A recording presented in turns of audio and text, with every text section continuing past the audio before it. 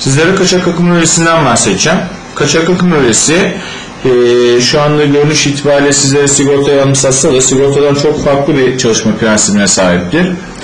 E, kaçak akım rölesi eğer bir fazlıysa fazımızın, eğer üç fazlıysa fazlarımızdan herhangi birinin toprağa bir kaçak yapması durumunda akımlar arasında oluşan dengesizlik sonucunda açma sağlar.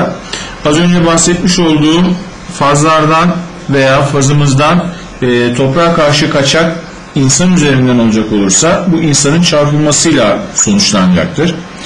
Kaçak akım bölem bir fazlı ve üç fazlı olabilir. Bir fazlı kaçak akım bölemde iki adet e, Clemens grubu vardır veya iki adet bağlantı ucu vardır. Bunlardan bir tanesi fazım, diğeri nötr biçimdir. Şebekeden gelen fazım e, kaçak akım böleme geldikten sonra çıkış klemensinden alıcıya gider ve alıcıdan e, dönüşü ise tekrar kaçak akımın klemensi üzerinden şebekeye gider. Burada ise 3 fazlı bir kaçak akım rölesini görmekteyiz. Burada her 3 faz için e, bağlantı klemenslerini görmektesiniz. Şebekeden gelen fazlar e, kaçak akım rölemin çıkışından alıcıya gider. 3 fazla alıcıya gider. Aynı zamanda yine e, nötr hattı da kaçak akım rölemin içerisinden geçer. Az önce dediğimiz gibi kaçak akım rölesi içerisinden geçen, alıcıya giden ve alıcıdan tekrar şebekeye dönen akımların e, dengesine bakar. Eğer bu çekilen akımla şebekeye tekrar dönen akım arasında herhangi bir fark olacak olursa kaçak akım rölem açma verecektir. 3 fazla kaçak akım röleleri 300 miliamperlik fark akımlarında açma yaparlar. 300 miliamper e, 3 fazlı sistemlerde yangın başlangıcı olarak kabul edebilir. Yani 300 miliamperlik bir kaçak benim e, cihazımda bir yangın başlangıcına neden olabilir.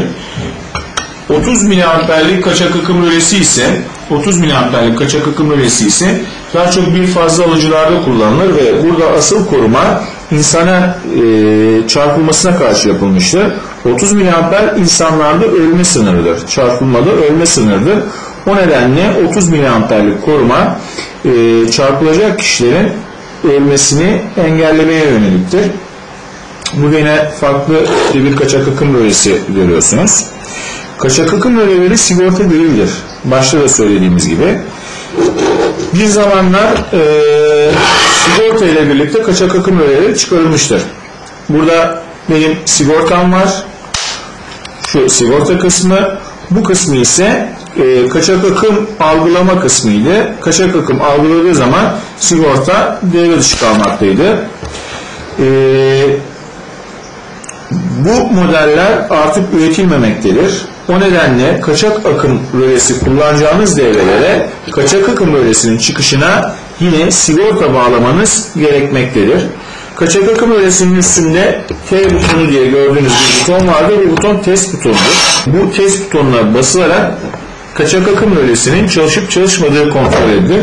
Bu test butonunun amacı kaçak akım rölem içerisinde bir direnç üzerinden 300 mAh'e tekabül eden bir akımı kaçak akım rölesine girmeden tekrar şebeke tarafına verilmesini sağlar ve bu akımın oluşturduğu farktan dolayı kaçak akımın atıp atmayacağı gözlenir.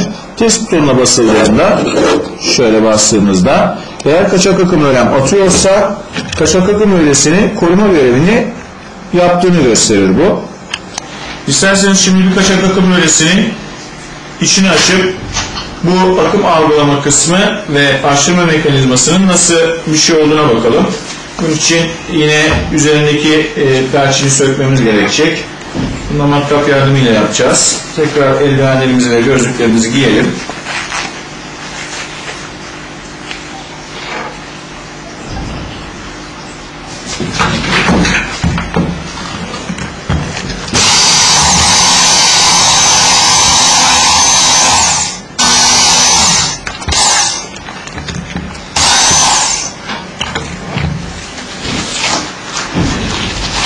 Şimdi kapağımızı kaldıralım kaşık öğremizi.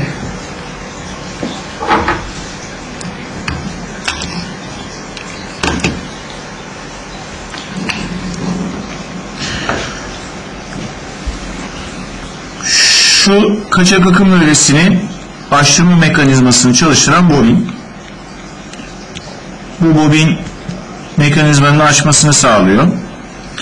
Şurada ise bir toroid bobin görüyorsunuz. Şu elektronik devreyi ve toroid bobini sökelim. Şurada görmüş olduğunuz toroid e, bobinden 3 faz ve nötr akımları geçirilmekte. Bunu isterseniz şu klemensi Şimdi burada toroid bobini görmektesiniz. Toroid bobinden e, bir 3 faz ve bir nötrü birer tur attırıldıktan sonra çıkışlara verilmiş. Bunlar çıkış klemenslerim veya çıkış kontakları. Bu toroid bobinin içerisinde ince kesit ve çok spirli bir sargı var. Bakın sargı uçlarını da şuradan görüyorsunuz. Bu sargıda eğer e, gelen ve giden akımlar arasında bir fark oluşacak olursa e, manyetik alan farkından dolayı bu sargıda bir gerilim indiklenecektir. Bu indiklenen gerilim şuradaki elektronik e, devrede elektronik devrede e, yükseltildikten sonra yükseltildikten sonra açtırma bobinime verilecektir. Açtırma bobinim ise e, kurma mekanizmasını harekete geçirerek kaçak akım üresinin açma yapmasına neden olacaktır. Az önce bahsetmiş olduğumuz test butonu vardı. Bahsetmiş olduğumuz test butonu diğer ucu da şurada olacak.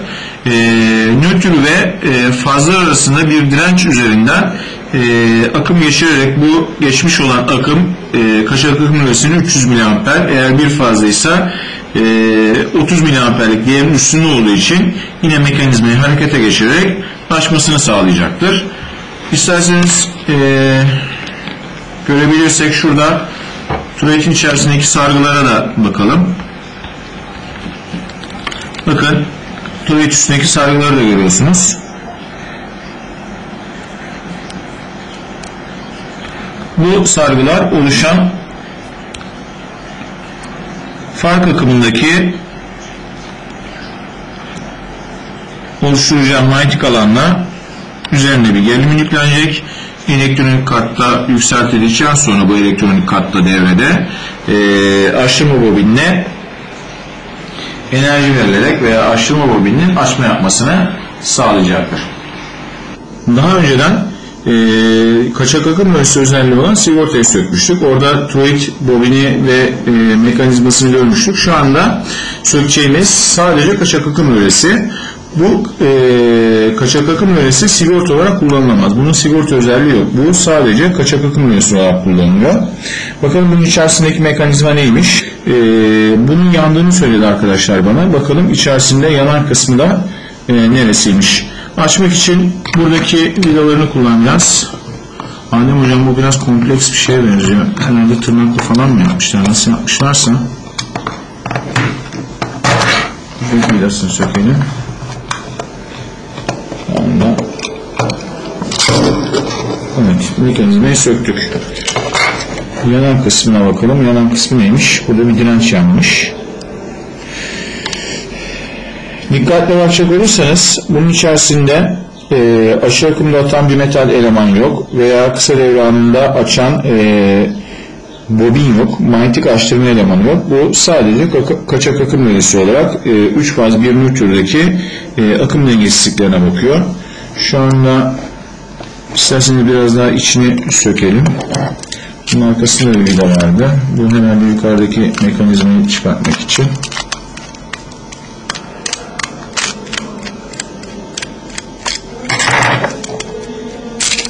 Evet. Şimdi kaçak akım nölesi açma yaptığı zaman e, akımı keseceği için e, burada kontakların e, verebiliyorsunuz. Kontakları verebiliyorsunuz.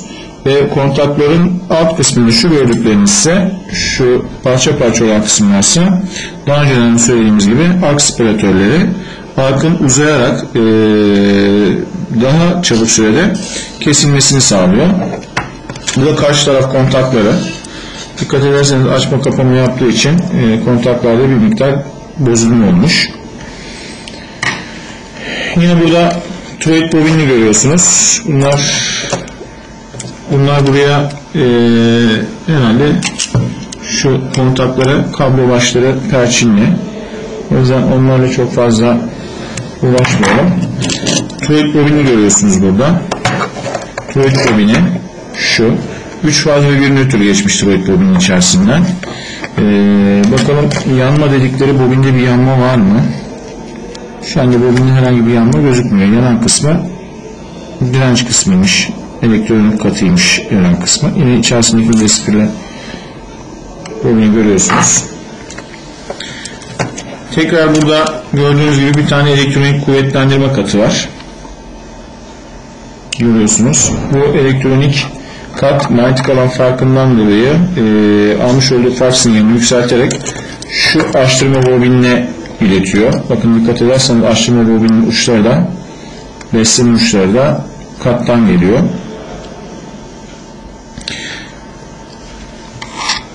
Size test butonundan bahsetmiştik. Herhalde test butonunun e, devresini tamamladığı direnç yani e, kaçak akımda fark akımı oluşturan direnç de bu. Bu dirençteki ısınma burada bobinin bir e, kısmına zarar vermiş. Evet. Bu kaçak akım rölemiz de bu şekilde.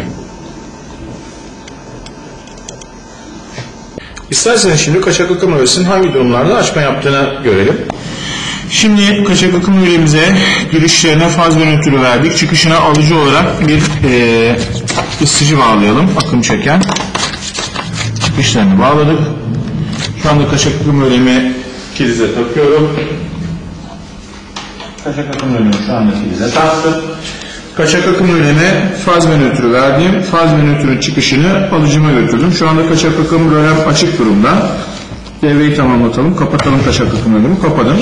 Alıcıyı çalıştırıyorum. Alıcı olarak şu anda bir ısıtıcı kullanıyoruz. Kaçak akım rölesi neydi? Gelen ve giden akımlar arasında fark olup olmadığına bakıyordu. Isıtıcımı çalıştırdım şu anda. Isıtıcım çalışıyor. Akım rölesi içerisinde akım çekiyoruz. Çekilen bu akım gelen ve giden faz ve nötr kaçak akım rölesinin içinden geçtiği için şu anda fark akımı sıfır. Eğer nötr hattı kaçak akım rölesinin içerisinden kendisini tamamlayacak olursanız şu anda nötr hattını kaçak akım rölesini köprüleyeceğim. Kaçak akım açma yaptı. Aynı şey faz için de geçerlidir. Kaçak akım rölemi tekrar kurayım. Kaçak akım rölemi tekrar kurdum. Isıtıcımı tekrar çalışıyorum. Bu sefer fazı köprüleyerek kaçak akım rölesi içerisinden tamamının geçmesini engellemiş olacağım. Köy yapmış olduğum akım yapmış olduğum köprüden de geçeceği için gelen ve giden akımlar birbirine eşit olmayacak. Şu anda fazı köprülüyorum. Evet, aynı şekilde kaçak akım rölem açma yaptı. Gelen ve giden akımlar birbirlerinden farklı olduğu için kaçak akım rölem açma yaptı.